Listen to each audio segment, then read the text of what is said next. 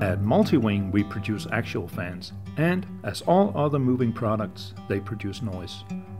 But how much noise does a specific axial fan produce and how can you measure it?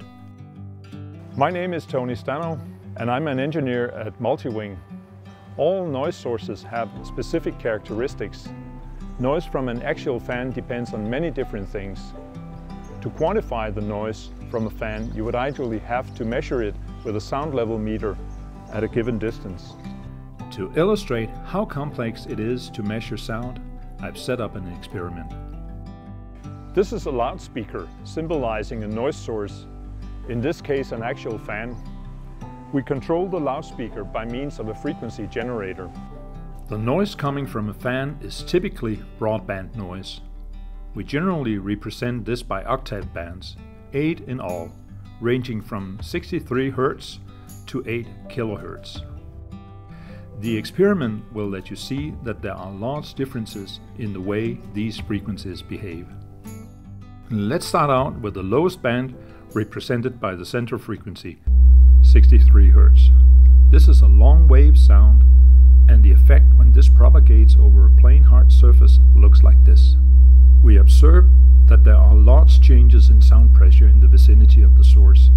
This is what we call the near field. Further away, this evens out and we should be able to measure.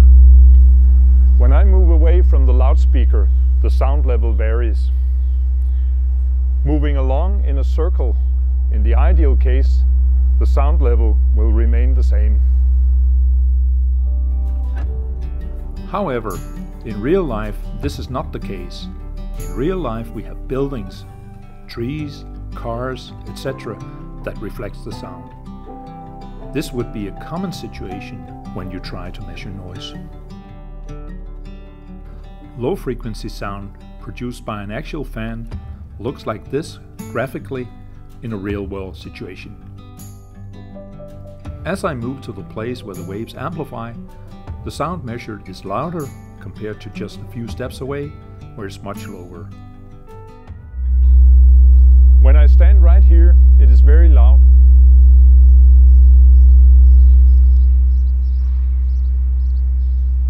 But just a few steps away, the sound has gone down significantly, even though I moved in a circle. This illustrates how difficult it can be to measure sound when there are buildings around. Now we will set the frequency generator to 1 kHz to illustrate the changes in the wave pattern. The changes in the pattern become smaller, but still there are substantial differences over a rather short distance. This makes measuring the sound very difficult when you do not have a vast amount of free space around you to avoid the influence of reflections. On the other hand, if you do have space, you still have to be very careful not to be in the near field. Even in the ideal case, the sound pressure was varying a lot. We have now illustrated some of the complexity of noise measuring. For recommendations on how to record noise emission from your product please refer to our white paper.